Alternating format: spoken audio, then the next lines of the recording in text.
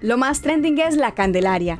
Y es que la localidad ubicada en el centro histórico de Bogotá recibió una certificación nacional por buenas prácticas ambientales y culturales. Este es un instrumento que desde 2014 el Ministerio de Comercio, Industria y Turismo utiliza para promover buenas prácticas bajo cuatro estándares, sostenibilidad ambiental, cultura, economía y seguridad. El proceso para posicionar cualquier punto turístico como un lugar deseable y más competitivo es voluntario. Mediante programas de concientización, algunos residentes y empresarios de la Candelaria junto a entidades e instituciones trabajaron desde 2017 para cumplir con cada estándar.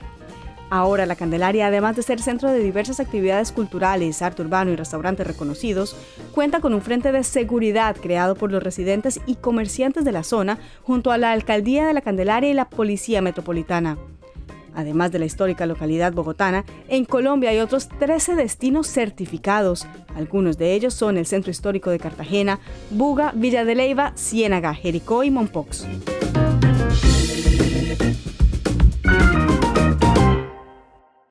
Ya saben, si les gustó lo que acabaron de ver, pues muy sencillo. Suscríbanse a nuestro canal, le hunden el botoncito rojo y ahí quedamos conectados para que puedan ver la mejor información de Trendiando.